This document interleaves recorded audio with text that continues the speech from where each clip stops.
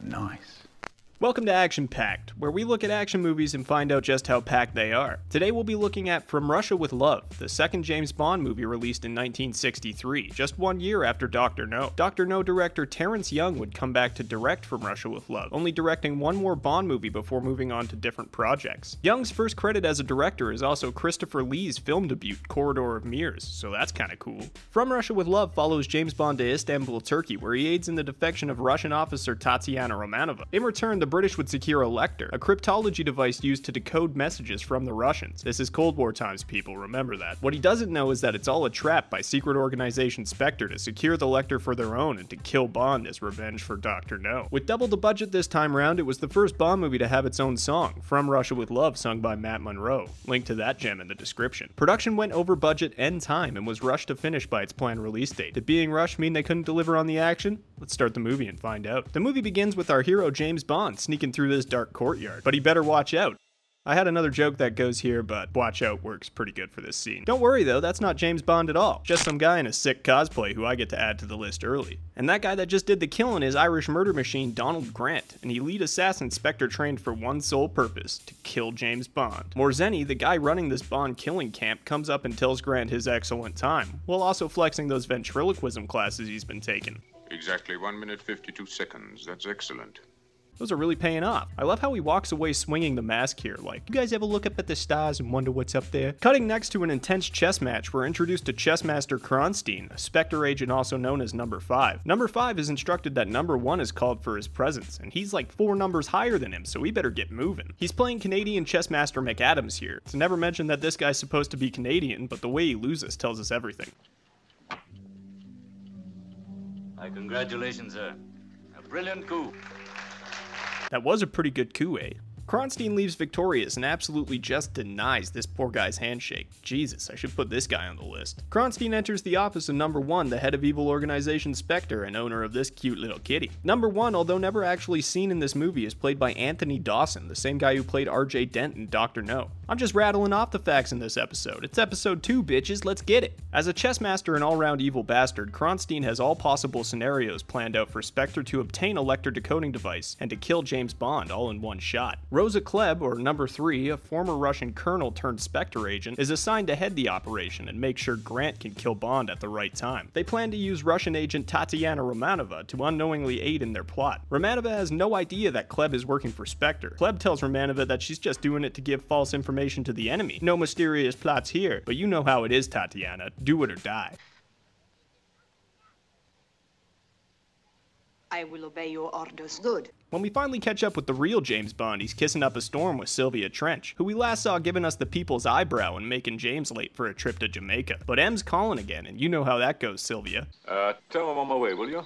He is not on his way. Damn, Sylvia, chill. Getting to M's office, M briefs James on the situation. Romanova wants help getting to England, and he's gonna honor that so he can get a taste of her sweet, sweet Lektor. M tells James that Ali Karim Bey, head of the MI6 station in Istanbul, will be waiting to assist him. James isn't so sure and thinks it's all a trap. M thinks it's a trap too, but he doesn't give a shit. Britain needs that damn decoder, so James better pack his fucking bags, cause he's going to Istanbul. Before leaving, Q equips James with a special attaché briefcase. This thing has everything. It's got extra bullets, it's got gold coins, a sniper rifle, and even some tear gas that goes off if the case is opened incorrectly. Q also had a brief appearance in Dr. No, taking Bond's Beretta and giving him his standard Walther PPK, but I didn't mention him because the part was so small. He was played by Peter Burton in Dr. No, but Burton was unavailable to return to the role, so Desmond Llewellyn stepped in to replace him. Llewellyn would play the role for 36 years and across 17 films, so we'll be seeing a lot of this guy. Arriving in Istanbul, James meets Ali Karim Bey's chauffeur, but they're followed out of the airport by a couple unnamed agents working for the Russians. And following all of them is our favorite trained psychopath, Donald Grant. James just doesn't have good luck at airports. Traveling with the chauffeur and going through a secret entrance, James meets Ali Karim Bey, who's played by Pedro Armendariz. During shooting, Pedro was diagnosed with terminal cancer and was in constant pain.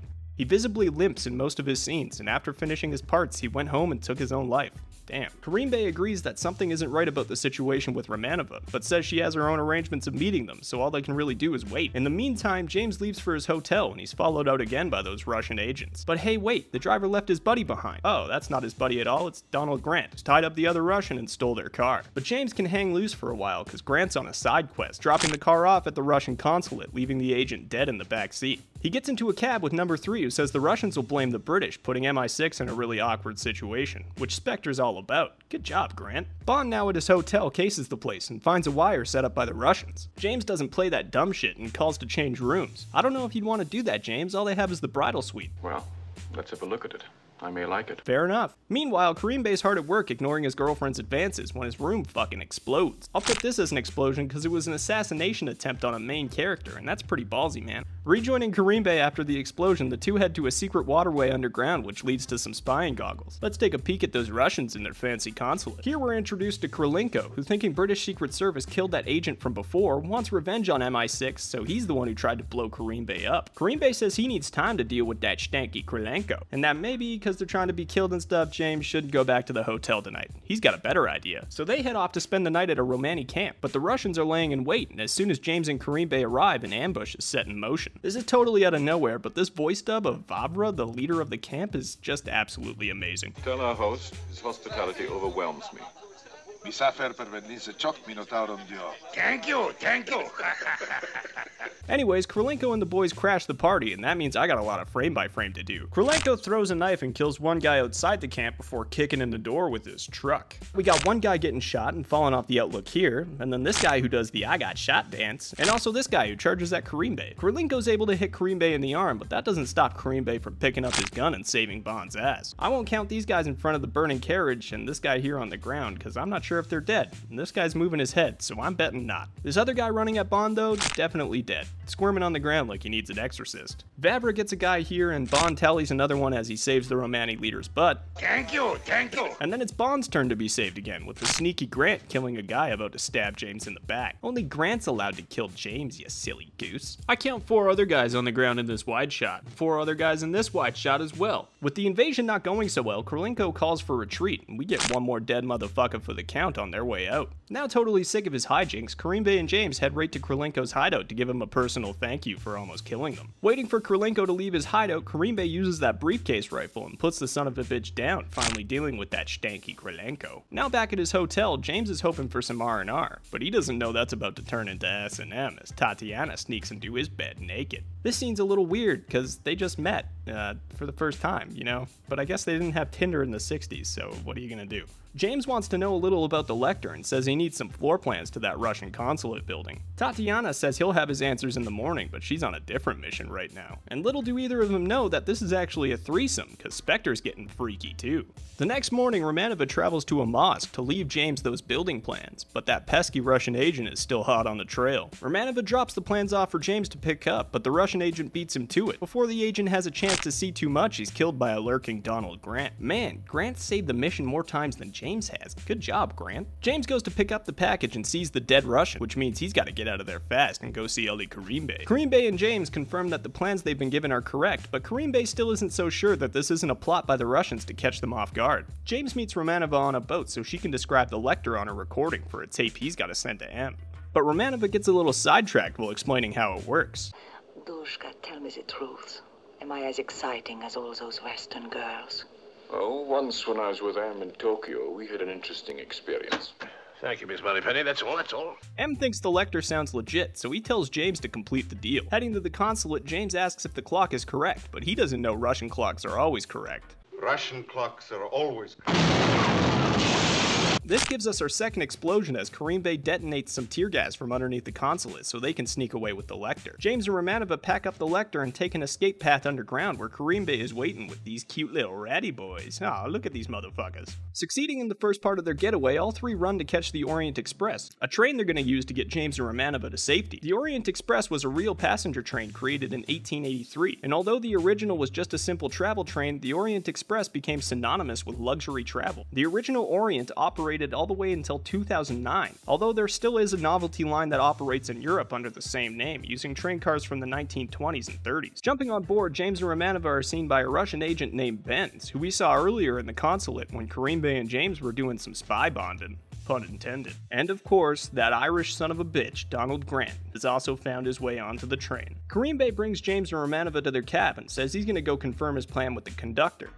Basically, Karim Bey's sons are waiting to pick them up, and with the help of the conductor, they should be able to sneak off the train, allowing Romanova and Bond to catch a flight that should take them back to London. But this is all going too smoothly, and Karim Bey notices Benz getting a little too close for comfort. James says Benz couldn't have known about the consulate before getting on the train, but Karim Bey says he's going to keep him company just in case, holding Benz up in his room until they get to where they're going. But as James leaves, even more goes wrong as murder machine Donald Grant is close by and slips in to introduce himself to Benz and Karim Bey, killing them both and staging to look like they killed each other. I appreciate how these stories have no qualms about killing major characters like this, but I find this one kinda lame. It was all off screen, and I think Ali Karim Bey deserved to go out with like a fight scene or something. James pays the conductor to keep the deaths quiet, and going back to Romanova, he demands answers, thinking she had something to do with it. I don't know what you mean.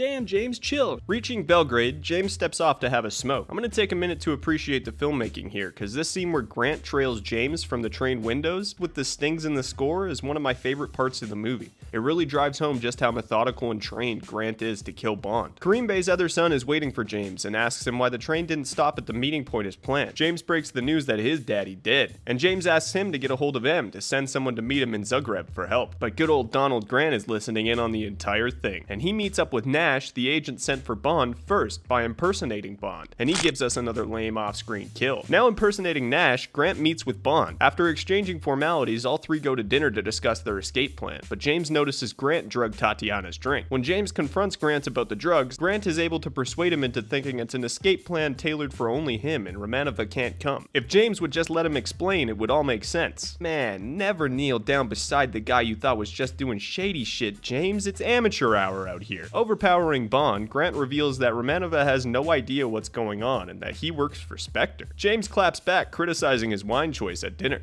Red wine with fish. Well, that should have told me something. You may know the right wines. You're the one on your knees. Oh shit, Grant's been trained on how to kill Bond in conversation too? This is getting serious. Grant says he's gonna kill them both and leave behind that sex film recorded by Spectre earlier, and a suicide note with Bond, with the note stating that Romanova was gonna release the film to the press unless he married her. Tricking Grant into opening up Nash's briefcase, the case explodes with tear gas, just as Q promised it would. Thanks, Q. I don't know if I should put this as an explosion, because nothing really exploded, it just kinda spit out the cloudy tear gas, so I'll say this doesn't count. Fight me. Bond and Grant tussle around in what I would say is a decent fight scene, only it's a little claustrophobic. But if Battle of the Bastards taught us anything, it's that fights aren't always spectacular and often have a claustrophobic feel to them. So, points for realism? Grant goes for his signature killing move with the watch wire, and although almost beaten, James is able to use a knife hidden in his briefcase to stab Grant in the arm and reverse that wire choke, killing Grant with it instead. Waking a drugged Romanova up, James plans to use Grant's escape to get the hell out of there, because there's like three dead bodies on this train now. A truck blocking the tracks makes the train stop, and James and Tatiana jump off. Heading to the truck, the driver starts calling for Grant like he's a dog that just ran away or something. Grant, where are you? Grant! Here, boy. Where are you, Grant? Come here. But he finds another dog, a dog named Bond. James knocks him out and ties him up, laying Romanova on the flowers in the back to sleep off that gnarly hangover. Driving to a boat Grant had waiting, James is chased by a helicopter. That's fancy. The helicopter operated by two Spectre agents, as Grant's death was no doubt discovered soon after they fled the train. The Spectre agents start throwing grenades, hoping to straddle the truck, adding three more explosions to our list. Seeming to work, James stops the truck and jumps out, preferring to run on foot, bringing that handy briefcase rifle with him. Is he really going to be able to? Oh, oh yeah, yeah, they're both dead. Yep, that gives us two more deaths to add, and of course one more big explosion as the helicopter lights up in the background. Finally getting to Grant's getaway boat, Romanova and James hop in, pushing Mr. Truck Driver guy off the side. Pretty sure he's just going to drown in that water, James, but hey, I didn't see it, so I guess you're off the hook for this one. And just like that, Tatiana and James are off to Venice. I hope they double check the mirrors in their hotel this time. Back at number one's office, Kronstein and Klebb are all sweaty and nervous because their plan was a disastrous failure. Bond's still alive and they don't have a Lektor at all, so number one's gotta hand out some punishment. Morzeny comes in and kicks Kronstein in the leg with a boot knife.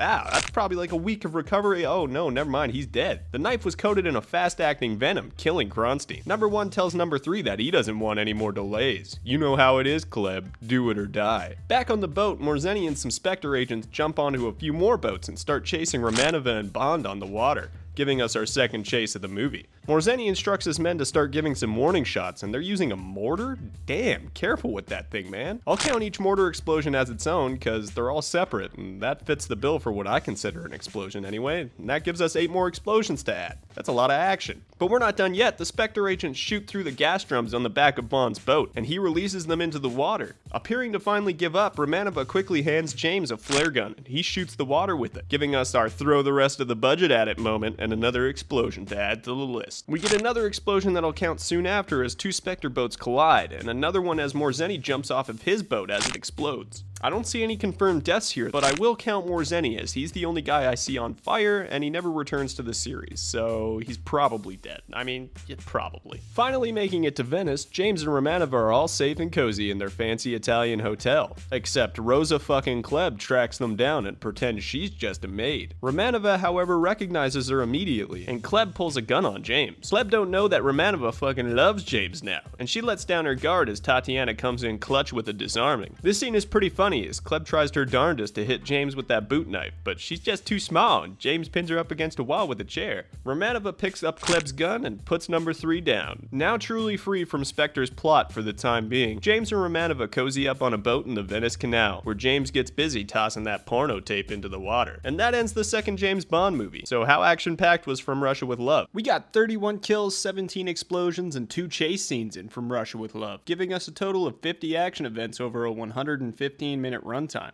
This means it's now our number one spot in kills and explosions, but only makes it tied for first with chases. Will the numbers just keep going up with the budgets on these films? Next week we cover Goldfinger and find out. Thanks for watching Action Packed. I hope you enjoyed the episode. Be sure to leave movie suggestions in the comments. If it's got explosions and guns, you know I'll be watching that shit, man. We're just starting out, so help me figure out how I can make these things better. I know my narration probably needs a little work. I'm sorry about that. I love making videos. I really just want to make good content. So, uh, yeah, stay safe, everybody.